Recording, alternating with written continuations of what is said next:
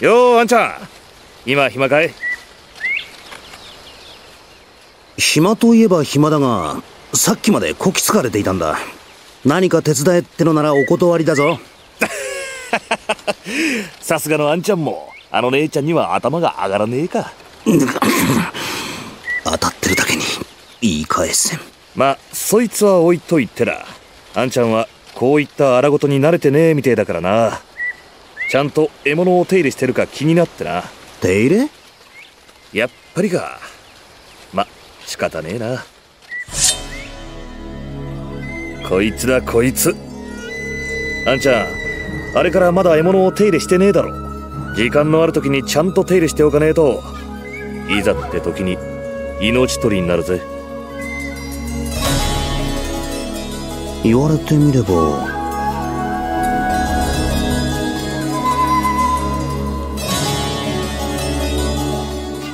かなり手荒に扱っといてそのまま放置だったなやっぱまずいか。そいつに自分の玉預けるんだ。まずいどころじゃねえな。それこそ恋人や女房のように扱ってやんねえとな。確かにその通りなんだろうな。こんなのどうやって手入れするんだ？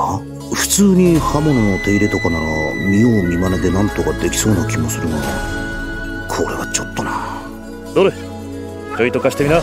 できるのか？こんな商売を続けてりゃ大抵のもんはな。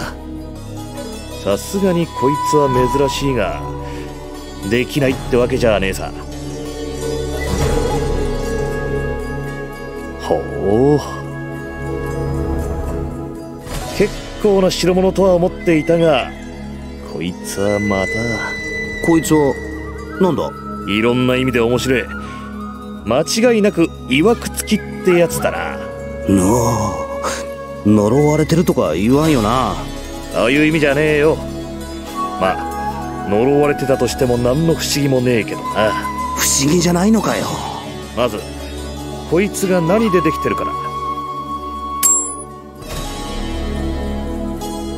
鋼じゃねえな。もっと硬い別の何かだが何かわからんあれだけ乱暴に扱ったってのに賭けも曲がりもしてやしねえとな。で次はこの仕掛けだ。仕掛け？何か仕掛けなんてあったのか？気づかなかったのか？こうして扇を目いっぱい広げてだ。そこからさらに広げようとすると見てな。結構えぐいぜ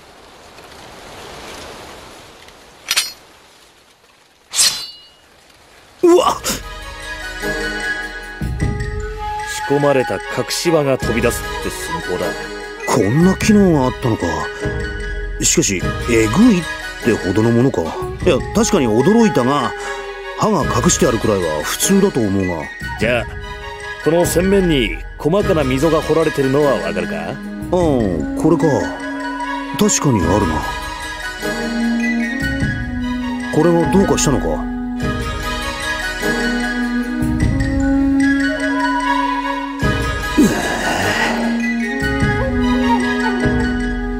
この刃先に触れたらたとえかすり傷であってもそういうことか。確かにえぐいな。ちなみにこいつの表面綺麗に磨かれちゃいるがうっすらと模様になってるだろう。こりゃ血と薬品が染み込んだ後だな。つまり血が染み込むまで使い込んでるってわけだ。はてさてこいつはどれだけの命を食らってきたんだがあんちゃんの言う通り本当に呪われてたりしてな。おい冗談のつもりだろうがシャレになってないぞ。悪い。俺も言っててそう思った。あのなああどこも歪みはねえし欠けてもいない。これなら問題はねえか。しかしクオンがなんでこんな物騒なもの？あの姉ちゃんよっぽどあんちゃんを買っているか信頼してるらしいな。クオンが自分を？なんでだ？こいつを見りゃわかるさ。こんだけ心を込めて手入れしてやるんだ。よほど大切にしてきた思い入れのある品なんだろそいつを何とも思ってねえ奴に預けるとはとても思えねえがな。うん。よしこんなもんでいいか俺よ。できたぜ。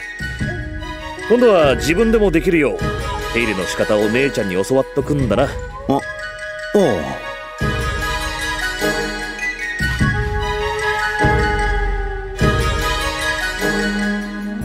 思いが込められたものか。なぜクオンはそんな大切なものを自分に渡した？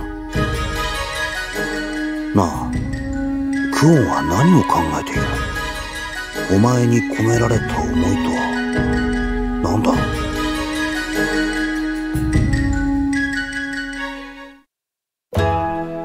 こりゃまたでかい鍋だな。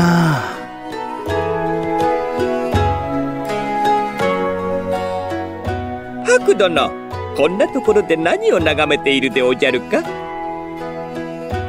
うん。さすがにこれだけの人数になるとその支度も豪快だなと思ってなそうでおじゃるな。マロもこんな大勢と行動を共にするのはこれが初めてでおじゃるよ。そういうマロロは何をしてるんだ？マロでおじゃるか？マロはそうでおじゃる。お手伝いの最中でおじゃった。手伝い？ルルティエ様頼まれたお塩でおじゃる。ありがとうございます。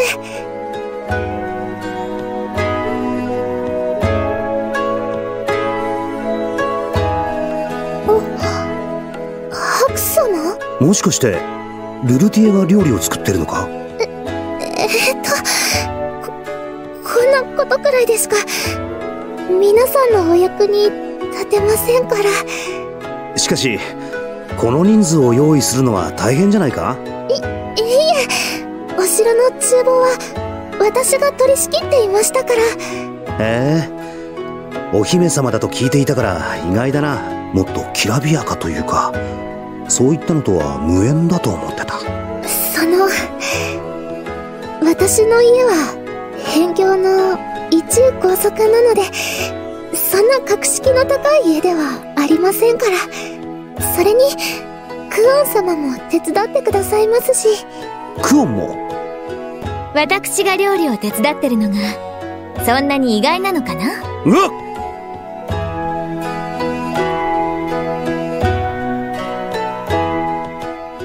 ハクと出会う前は一人旅をしてたんだから。一通りできるのは当たり前なんだけどな。いやいや別にクオンが料理ができないなんて。あ。ハクはそこで見てるといいかな。私の技を見せてあげるから。料理が下手と言われるのに嫌な思い出でもあるのか？ルルティエお塩はこのくらいでいいかな。もうちょっと濃い方がいいと思います。皆さん働き盛りですから、少し塩辛い方が好まれるかと。そっか。そう言われるとそうかも。うー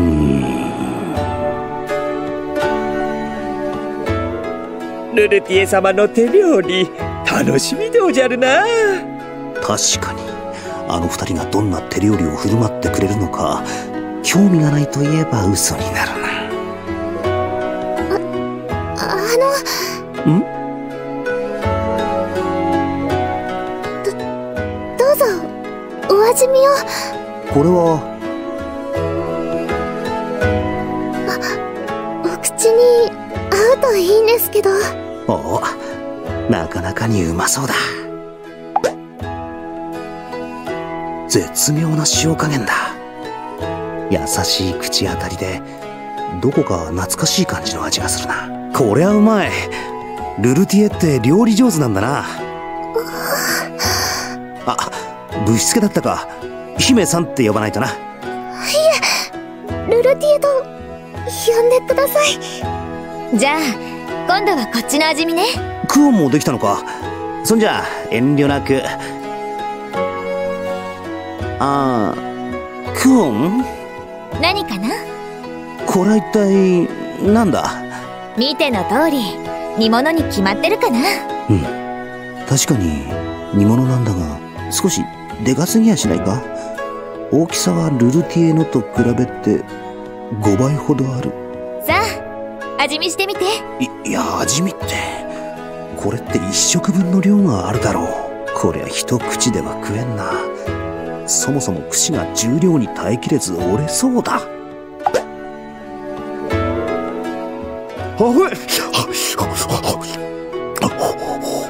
そんな少しずつじゃなくて一口でガプって。あち無茶言うな。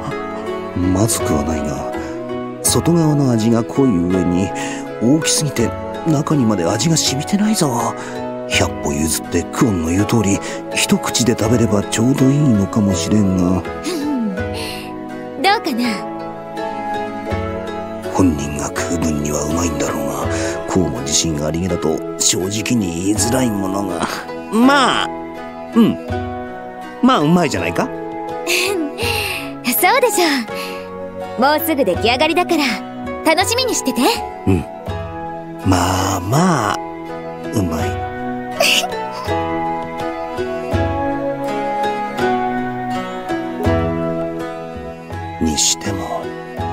お姫様って割には家庭的な感じなんだな。お高く止まった感じがなくって親しみやすいっていうか。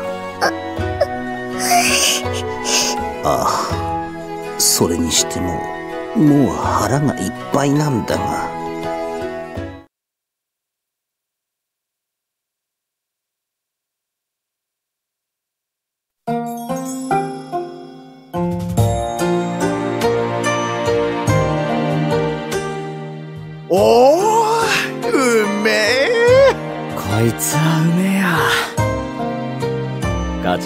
元気にしてっかな。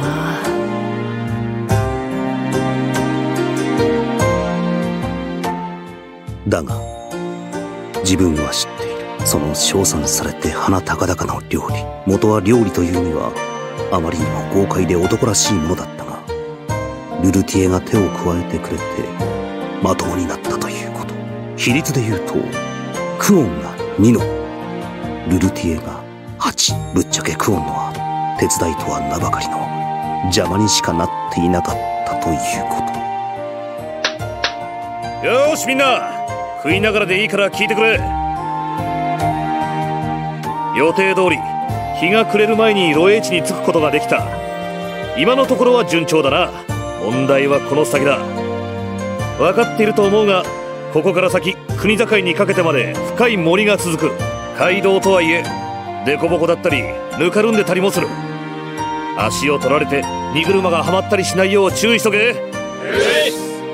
それとだ。最近この先で賊の被害が頻発している。賊の規模からして俺たちが襲われることはまずねえだろうが油断は禁物だ。各々警戒を怠らず気を引き締めて取り掛かってくれ。それから騒ぐなとは言わねえし飲むなとも言わねえが羽を外しすぎて明日以降に響かねえようにな。話は以上だ。道が荒れてるのか。こりゃ尻が痛くなりそうだな。ずっと歩き続けるよりかは100倍もマシだろうが。何か座布団代わりになるようなものを用意しておこう。それにしても本当に盗賊なんかが出るんだな。まあみんな腕っぷしが強いしこの人数なら大丈夫っぽいから心配いらないか。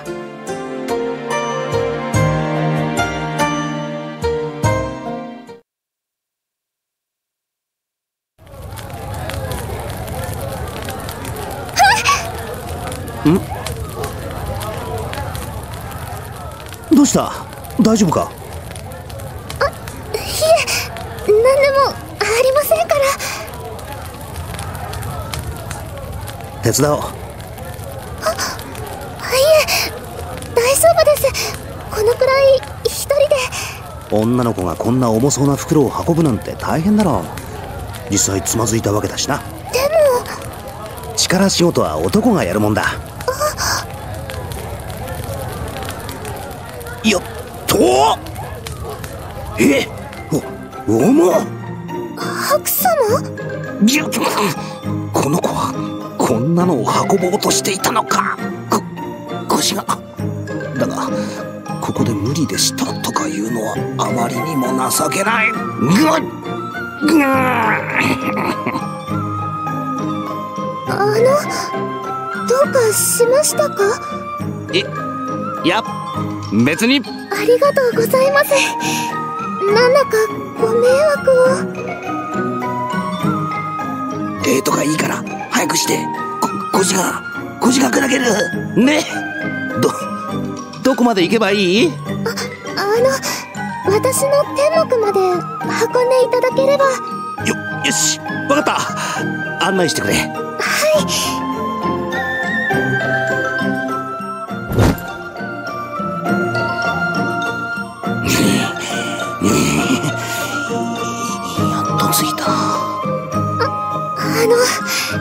りがとうございます。いやそんな大したことじゃない。しな。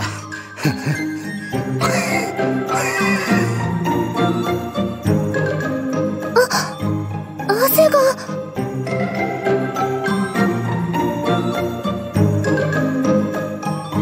服にこうでも炊き込まれているんだろうか。それとも彼女の体から発せられる女性特有の香りだろうかりました。ああなんかすまない。こんなことしかできませんから。じゃ自分はこれで。よろしければおお茶をお入れしますので休んでいってください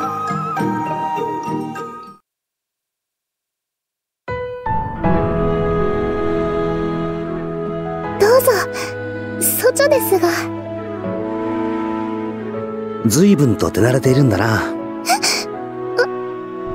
りがとうございます。私は家族にお茶を入れるのが好きなんです。ここ九十里はオールであるお父様自らが率先して開墾することで国が大きくなりました。お父様はもちろんお姉様たちやお兄様たちも木を切り岩を押しのけて畑を耕すのが当たり前でした。でも私は体が弱くてだからせめてお茶や料理で家族みんなに喜んでもらいたくて。なるほどな。ルルティエのお姫様らしからぬ家庭的な雰囲気はそういうところから来ているのか。しかしあれだけ重いものを持ち運べるのに体が弱いとか。ツッコミどころなんだろうか。うんうまい。よかった。お口に合って。茶の甘みと苦みがちょうどいい塩梅でとても気持ちが落ち着くよ。一番上のお兄様の好きな茶葉なんです。疲れが取れると言われるお茶でそそう言っていただけると嬉しいです。本当に家庭的で心の優しい子だなお入れしましょうか。あ頼む。